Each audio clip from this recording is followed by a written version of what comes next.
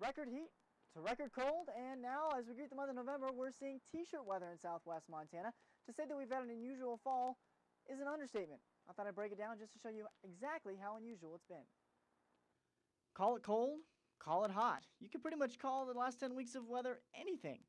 Anything that is, except normal.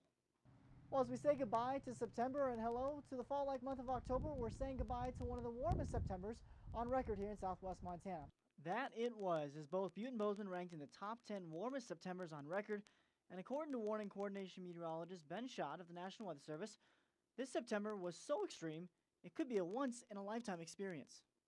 When you look at the whole month as an average, I mean that is a highly unusual event. Um, uh, records have gone back back into the uh, late 1800s, so you're talking one out of uh, you know 110, 115.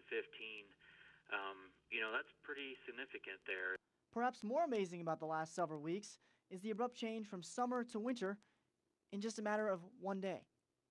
What a difference 24 hours makes here in southwest Montana. We go from 80s to 30s, almost a 50 degree temperature drop in just a 24 hour period. Record highs to record cold in just a matter of days as we welcomed one of the coldest Octobers on record for the region.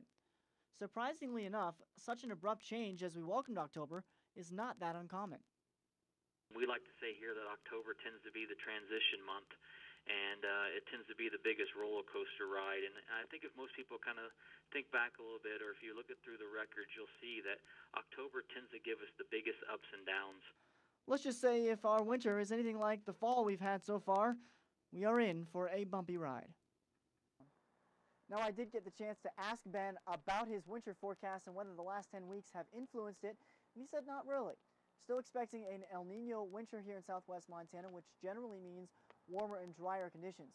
Ben did, though, mention the misconception that when we say warmer and drier, we're not talking 50s and sunny every day this winter. We're still going to get our Arctic blasts and our snowstorms, just perhaps not as many as in years past. From the Weather Patio, I'm Adam Bell for Montana's News Station.